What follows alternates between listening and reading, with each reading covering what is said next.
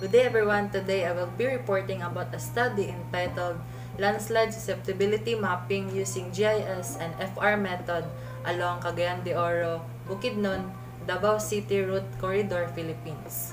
This study was conducted on 2016 by Opiso et al. The introduction. Landslides along highways in Mindanao including the Cagayan de Oro, Bukidnon, Davao City Highway pose high risk to many motorists and passengers. This route corridor plays a vital role in people mobility and commerce and trade between the two major economic centers in Mindanao.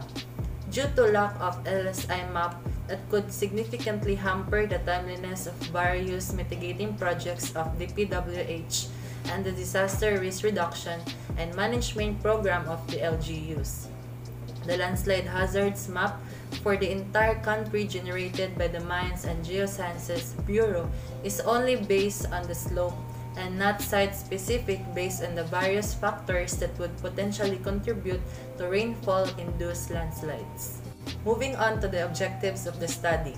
The study aimed to generate a rainfall-induced landslide susceptibility index map along the CDO, Bukidnon, Davao City Highway by using GIS and frequency ratio approach considering rainfall, soil, geology, land cover, slope, and elevation characteristics of the study area. The study also aimed to evaluate the causal factors of rainfall-induced landslide along the study area using GIS and FR approach. Next are the methods and materials of the study. The study was conducted along the Sayre National Highway that connects the two major cities in Mindanao, namely the Cagayan de Oro and Davao City.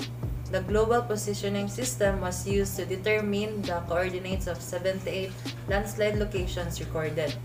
Next is the map layers of the different parameters with FR values were overlaid to produce the rainfall-induced landslide susceptibility index map. The generated LSI map was classified into low, moderately low, moderately high, and high risk. The polygon of the buffer zone was used to extract smaller thematic map layers for area size computation of the respective factors.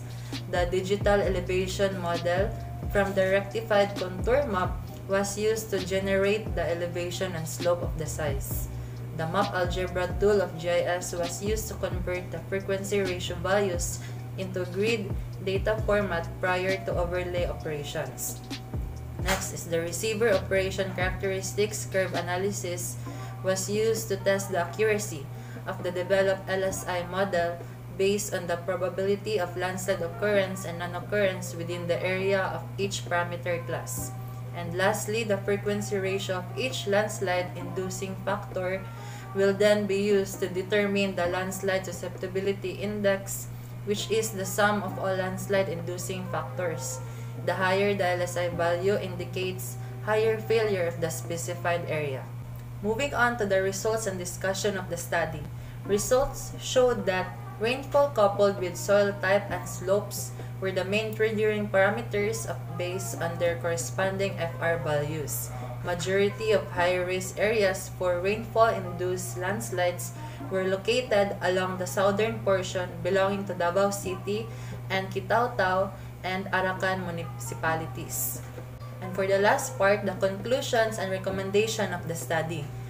Validating using receiver operator characteristic revealed that a model accuracy rate of 76.4% at 0.05 level Hence, the LSI map generated can be a useful input in planning out projects for road repairs and maintenance along landslide-prone areas so that cost, disturbances, and exposure to such hazards may be minimized.